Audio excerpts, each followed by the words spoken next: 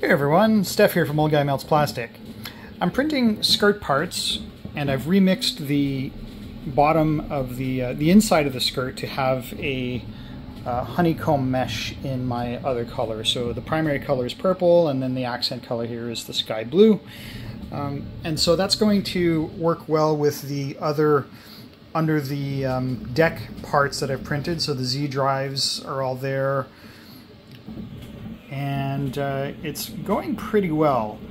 Uh, I did have to remix a couple of parts for the skirts um, to suit my needs, the way I wanted it to look. So I've uploaded those to printables. Um, they're not printing right now, so you can't actually see them on the plate, but I'll share the printables link in the link of the, in the description of this video for the uh, side fan supports. So the side fan supports uh, on the Voron V2 are this part. And what kind of bugged me about it is that if you look at this surface, this is the side that prints on the build plate. So this is facing down on the build plate. And it's uh, the honeycomb grid pattern, which we you know expect from the rest of the default skirt parts that come with the Voron uh, 2.4 R2. Um, but because this is the flat surface that prints on the build plate, these um, honeycomb grids, or honeycomb grid is pushed outwards compared to the ones on the front uh, where the honeycomb grid is actually recessed in.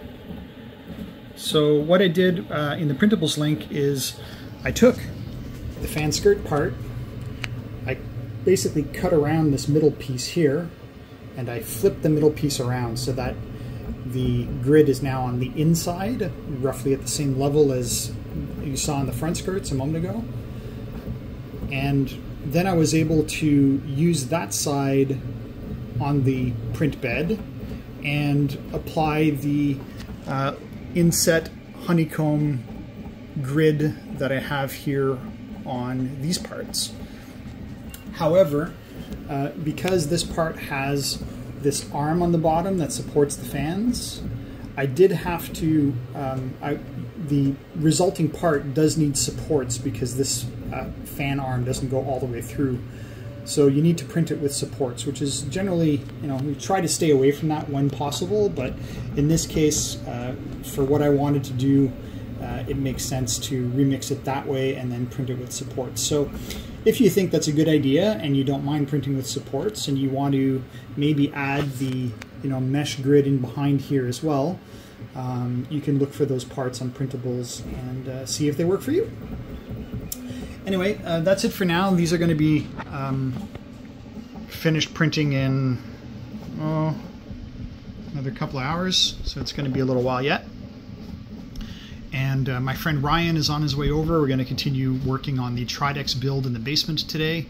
So uh, while this is printing up here, I'm going to uh, hopefully make some progress on mounting the electronics and doing some wiring in the uh, on the Tridex machine with Ryan's help. So looking for a look uh, look forward to posting another update tomorrow um, or later today with uh, results of the progress in the Tridex. That's it for now. Thanks for watching.